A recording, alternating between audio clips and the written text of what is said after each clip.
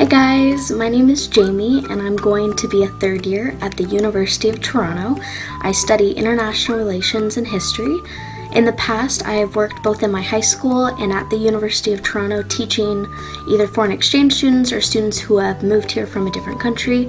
Just a little bit about, you know, maybe common phrases they don't understand, helping them with their grammar, speaking skills, if they need special help with interview prep or job researching or um, searching for colleges or grad schools.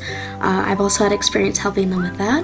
I love meeting people from all over the world. I love to travel and experience different cultures cultures. And I cannot wait to meet you guys and find out a little bit about who you are, you know, where you come from, and also help you um, succeed in any way that I can. Can't wait to meet you soon. Bye.